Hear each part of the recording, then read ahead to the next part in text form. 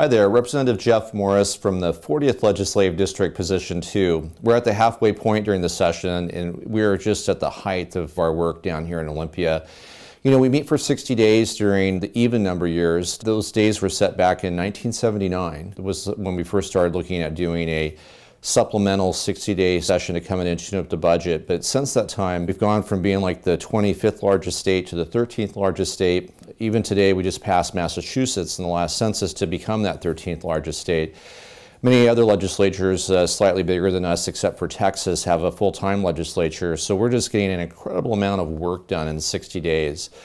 I'm happy to report that we've had many successes. The bill I proposed last year has actually passed out of the House and is in the Senate to build a new third ferry, which is critical to ferry service to the San Juan Islands. Made progress on privacy legislation around drone technologies and so forth, which is moving to the legislature.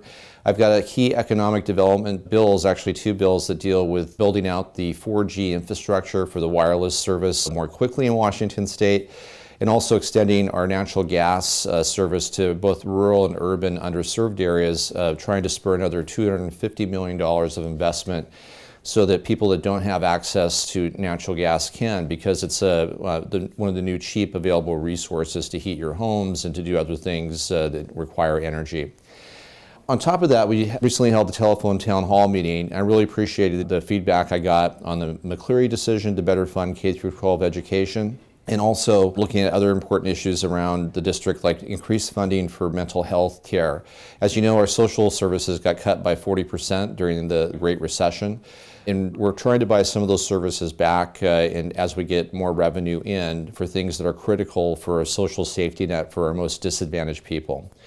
Um, all these things are critical. It really helps me when you contact me and tell me your opinion on things you hear in the news or might hear on the radio or see on the internet.